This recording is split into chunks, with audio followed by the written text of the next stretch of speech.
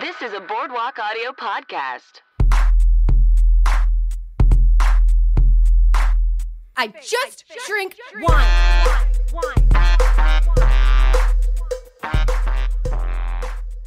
Well, hello and welcome to the wine situation.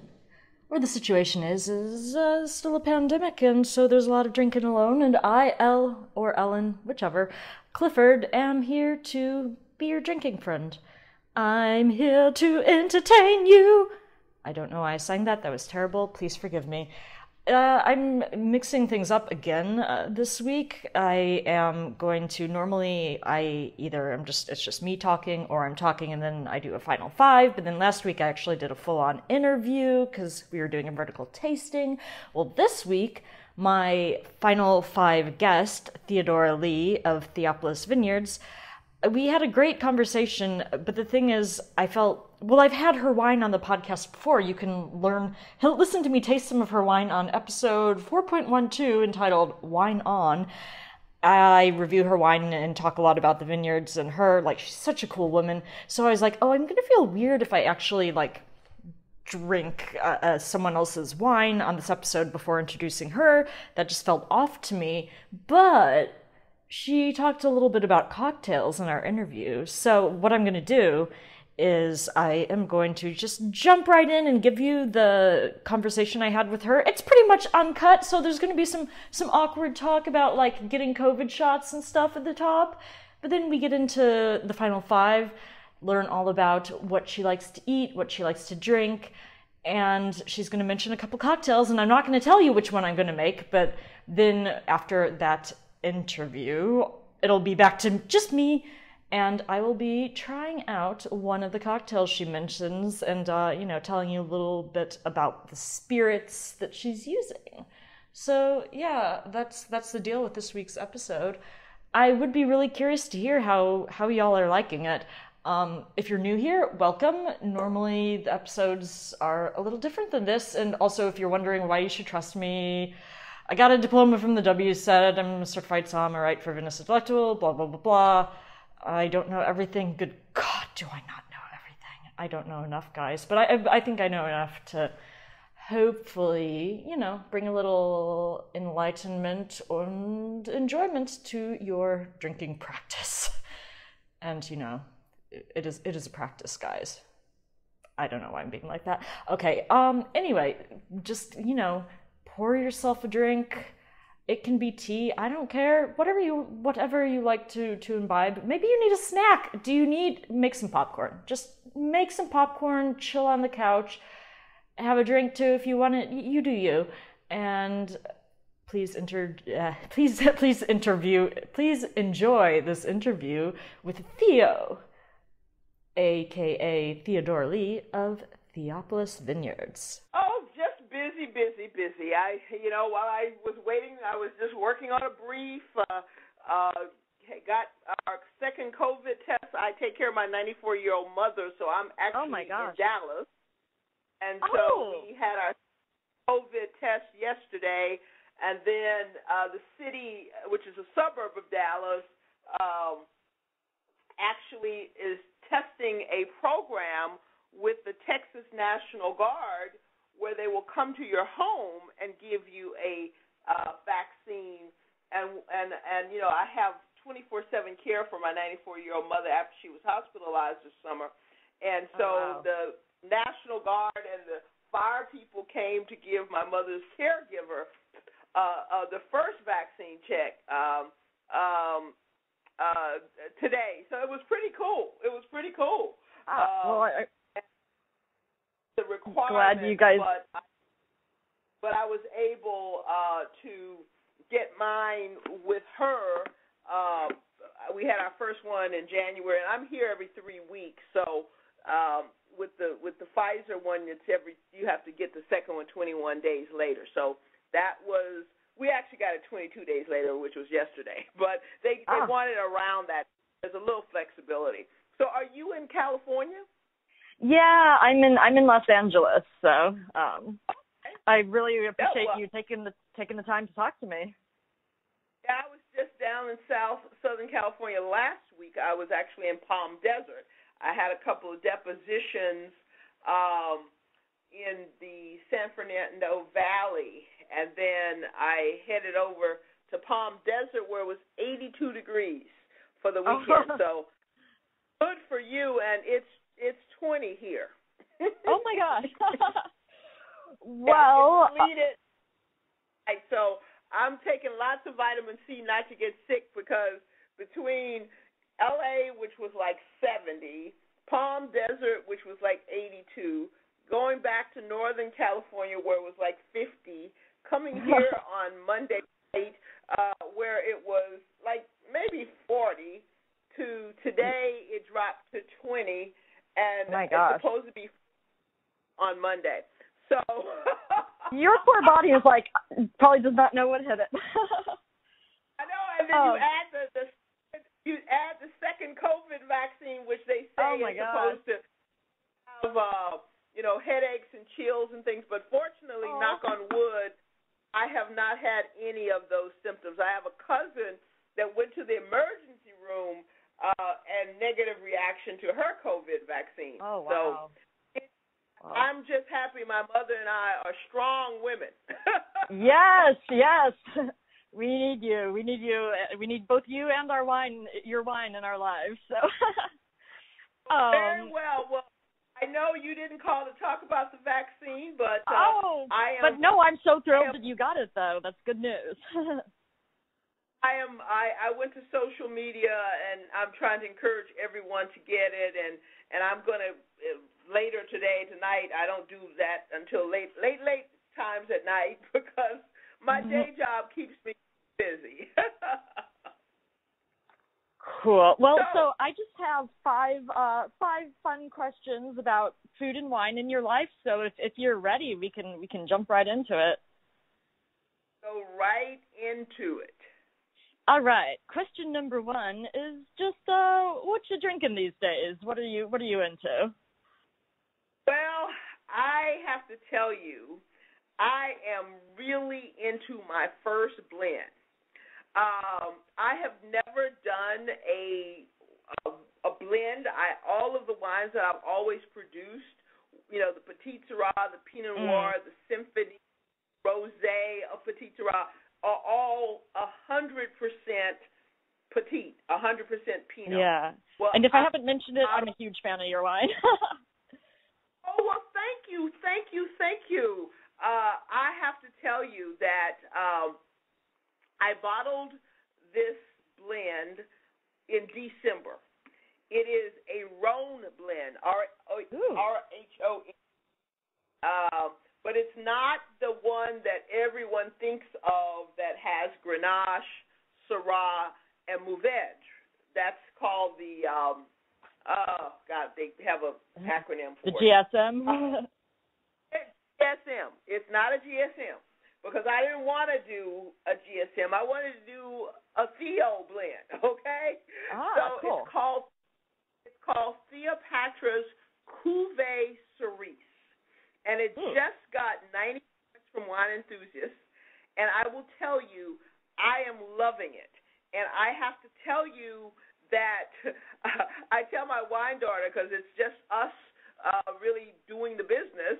I have a you know a wine um, uh, uh, a vineyard manager and a consulting winemaker, but it's just us. Once it gets in the bottle, it's just the two of us packing and oh, wow. shipping. So it is a wonderful uh, uh, blend of my Petite Sirah, uh, and Mourvedre, Mourvedre, which I'm learning how to pronounce, and I un- unfortunately got braces last month as an adult, so having braces, I oh my feel god, like I'm really weirdly, and when I have to take plaintiff's depositions or go to court, I have to uh, just remind myself that I am okay, but it's it, it's harder to braces. um, cool. Well, I oh sorry, go ahead. so I was a long way of answering a question. I said that was a long way of answering your question, but that's what I'm sipping. But we tease ourselves that we have to put it away because it would be like a drug dealer, you know, taking their own drugs. We can't drink it. So, uh, well, I will. I mean, look forward to trying that when it's when it's on the market. um, actually on the market, I'm running a Valentine's Day sale that Oh. includes the three new releases. It includes the Theopatra Cuvée Cerise, which is the red blend. It includes Theopatra's Cuvée Blanc, which is 100% Chardonnay, but because TTB, I wanted, and and you know, Symphony is my my signature white wine, but the Cuvée Blanc, uh, I think I'm going to have to do it on a regular basis. So instead of uh, of of actually putting the the variety in the label, we just call it Theopatra's Cuvée Blanc, a white wine, California, uh, because we're going to be bottling another uh, Chardonnay, but the 2019 vintage. So that plus the 2018 Petite Sirah that we bottled. So all of those were bottled at the end of last year. Uh, and they are on sale, including free shipping right now. Uh-huh. And so I'm gonna have to get into that. a hundred dollars is a pretty good deal. I mean, the free shipping, but you're in LA, so it doesn't cost you much to ship. But the people on the East Coast are just eating it up. Oh. I bet. okay, um so question number 2 is a what is either a favorite pairing or an unusual pairing that you've enjoyed? And it can be any kind of food, any kind of drink.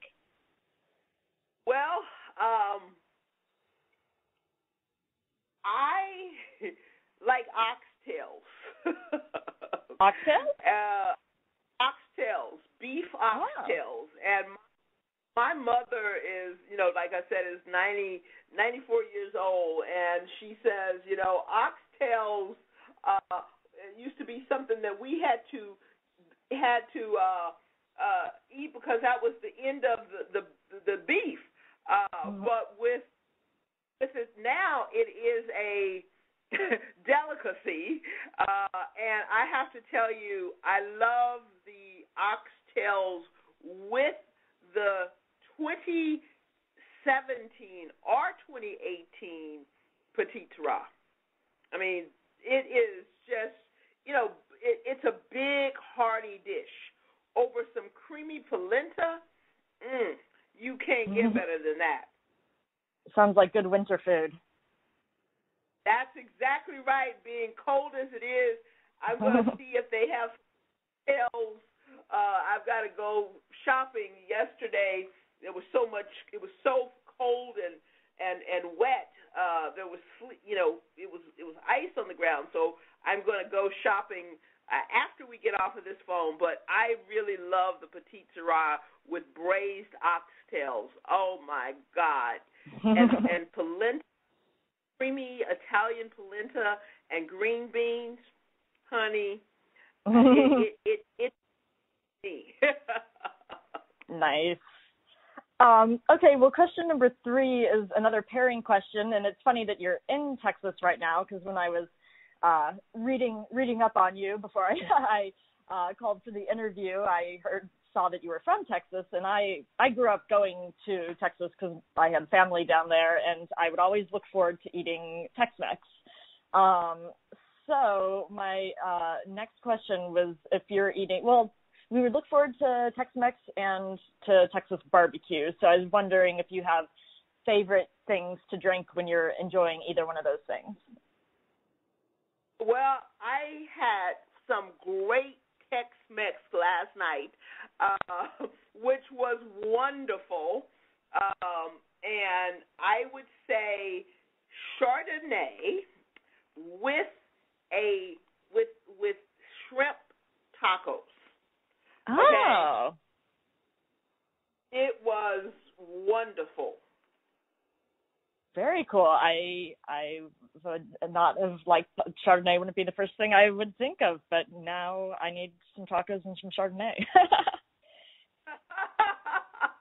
well, it worked for me. It it, it worked Nice. for me. Um, it it is just it. You know, Chardonnay is a pretty full bodied. Uh, I don't really like wimpy wine, so you'll have to understand. so the the Tex-Mex and all the flavors really go well. And I will tell you, I didn't have any, but but but it also the shrimp tacos go very well with my symphony. Uh, I don't know if you've had the symphony. I have, and it's a beautiful wine. It really accentuates the spiciness of the tacos. But I, you know, I, I would, uh, I love uh, Chardonnay, and I can tell you that last night that worked very well for me. Excellent. Um, okay, question number four is uh, what do you enjoy? And it can be alcoholic or not. What what sort of beverages are you into if it's not wine? Well, I, I my favorite. Let me uh, let me put it like this: because it's cold, favorite winter drink is something called the Beautiful. The Beautiful. Are you familiar with the? No, but I want to be. Tell me about it. Grand Marnier and uh, cognac. Ooh. That does sound beautiful. I, I, I, I, that's what mine is. Okay, I'm going to have to make sure that I'm not specifically uh, saying something wrong because that's what I've been drinking during the winter. Very cool. Um, okay, well, so last the last question is, um, and this could be related. Oh, sorry. Go ahead. And I parts because uh, Grand Marnier uh, and and cognac are my favorite winter drink when I'm not drinking wine. My favorite summer cocktail ah. is vodka, and of course, uh, I love our Texas vodka, uh, oh. and I like a club soda with a lime. Sounds refreshing. Um, I don't know that I've is Deep Eddy is that a Texas vodka? I'm like I don't know that I've had much Texas vodka. what is the most fa- what is the you you you spend how much time in Texas? Um, well, growing up, we would go down there once or twice a year to visit like grandparents and aunts and uncles. Uh, so, um, but so a lot of my yeah, time in Texas part? was before I could drink. Um, Georgetown, just outside Austin. Oh, yeah, right outside of Austin. Well, the best vodka sold in America is called Tito's. Oh, Vodka. oh, of course, yes. It's, it, it is distilled in Austin, Texas, and that's where I went to law school. And Tito's Oh. vodka soda with lime is just refreshing in the summer because I have to drink whatever I'm feeling. So right Yeah. now, the beautiful is what I'm feeling, but as soon as the sun comes up, uh, I'll be uh, I'll be going back to the beautiful. I mean, I'll be going Nice. to the vodka. Nice. um, well, our last question, which is the same question I've been asking since the dawn of this show, which can be related to food and wine or not, which just uh, what's what's bringing you joy these days? What is bringing me joy are virtual wine tastings, actually. Oh, cool. Um, yeah, I mean, they are a way to connect with people virtually, bring pleasure to people's lives because I really enjoy being in the beverage in- industry because I specialize in pleasure in the bottle. Uh, Mhm. And with COVID and people stuck at home, it is a way to add value to people's lives. And when I give to others, it makes me very happy. I love it. I love it. Well, um, before we uh, wrap up, do you want to tell people where where they can find you, where they can find your wine? Um, Well, they can find my wines at TheopolisVineyards.com. Uh, for those in the LA area, um, my wines are also at a uh, couple of places in LA.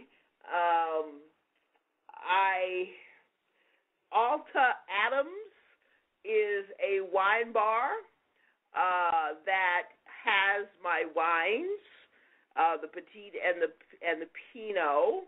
Uh, but the best place is TheopolisVineyards.com.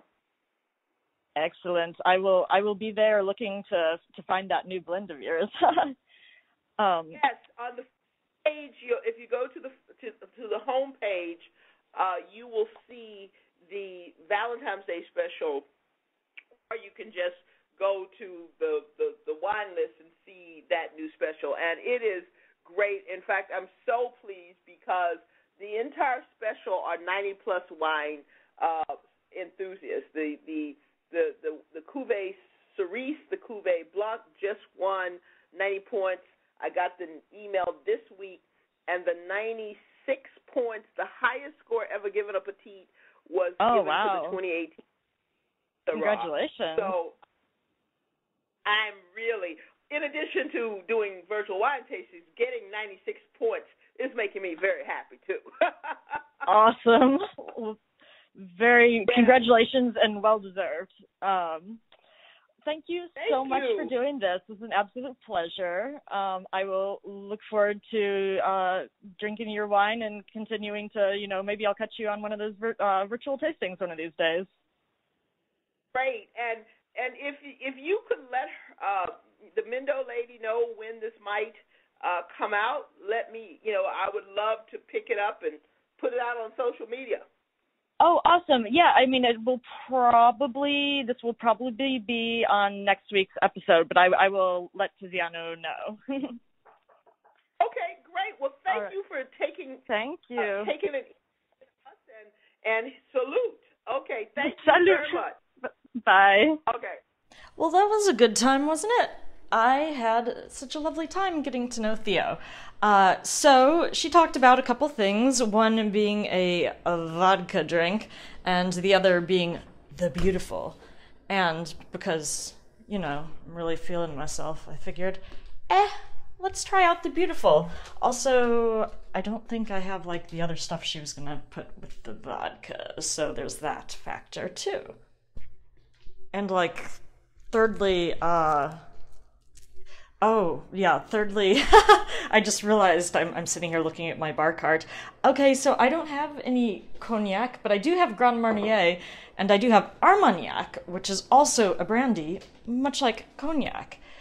So, what's the difference between cognac and Armagnac? Well, they both uh, have to come from different regions in France. They can use uh, different grapes, but like I think they both, I think they both mostly these days use a lot of Ugni Blanc that's U G L I space B L A N C.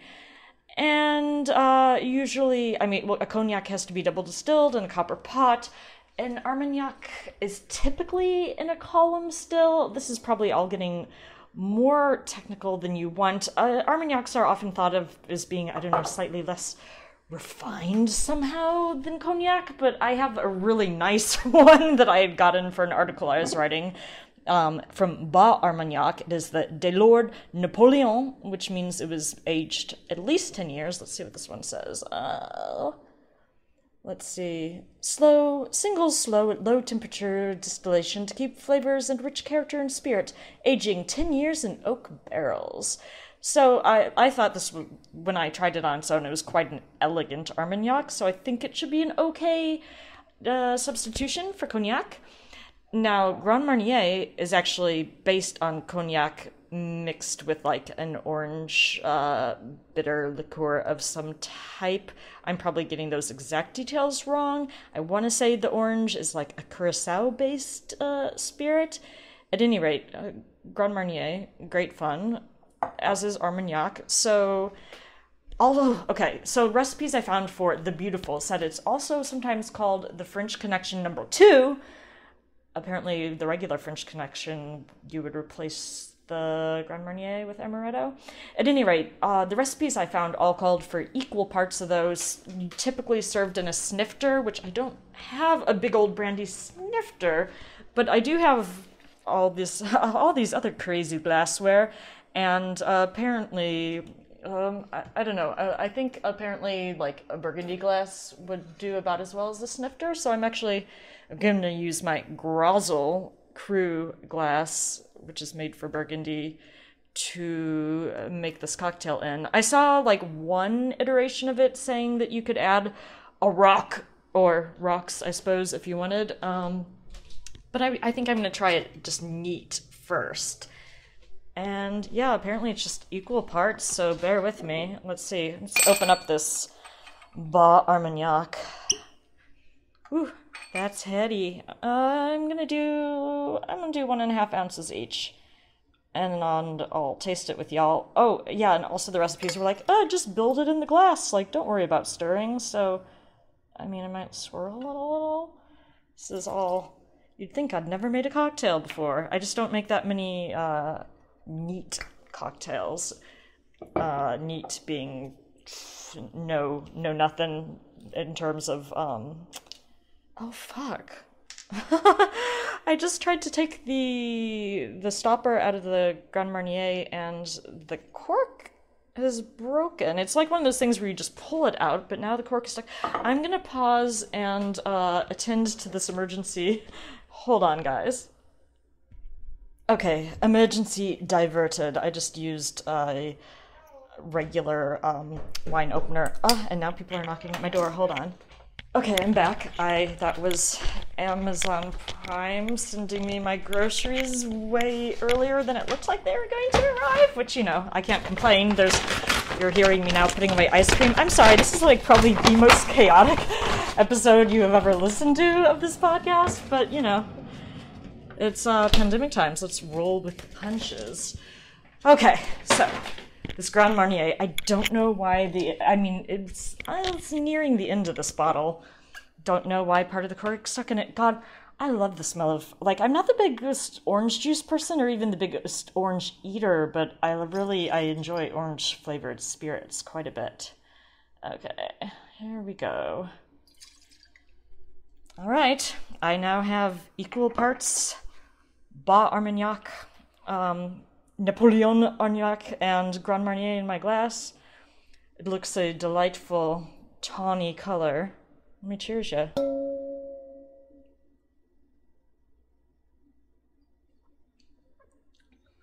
Woo! Oh, that's nice. Super silky. The orange obviously sings. get a lot of the like vanilla, I think, off the Armagnac. Mmm. But I will tell you, there's quite an alcoholic burn when, I, especially coming out of this uh, burgundy glass. So you know, while while I've got you guys with me, let's. I'm going to put one small rock in it. I hope this isn't like a travesty to be doing. And I know everyone else in the rest of the country right now, the day I'm recording this, is like freezing cold, but it's like pretty. Ooh, I hope that was okay for the glass. Um, whew, okay. So I'm hoping this will just like dilute the alcohol just a little bit and add like a little bit of a chill.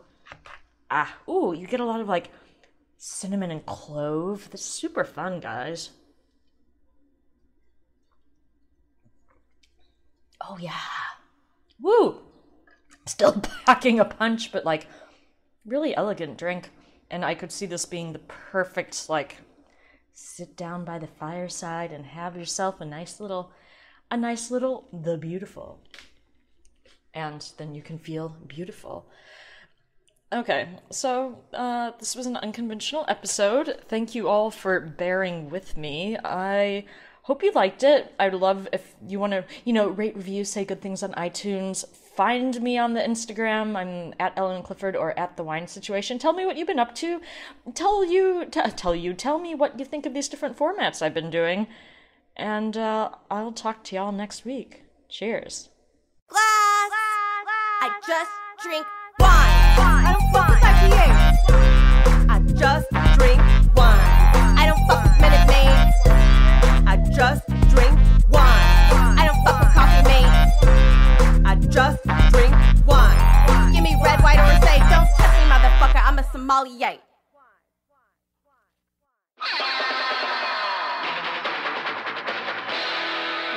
Been a Boardwalk Audio podcast. For more information and shows, visit boardwalkaudio.com. Don't forget to rate and subscribe now. ACAST powers some of the world's best podcasts. Here's a show we recommend. I'm Teresa Caputo, and I am dying to tell you about my new podcast, Hey Spirit. Most of you might know me as the Long Island Medium. Why do people even call me that? Well, I talk to the dead. Oh, he is funny as sh- He literally just said to Teresa, he's a better husband because of me. yeah, I can see that. Through this podcast, I'm going to connect guests with the souls of their departed loved ones and give them the peace that they've been searching for. I got to catch up with my friend Kim Kardashian West. Every brunch, we have this Armenian bishi that totally brings our dad into the mix. Today, I had the pleasure of sharing my gift with Nathan Lane.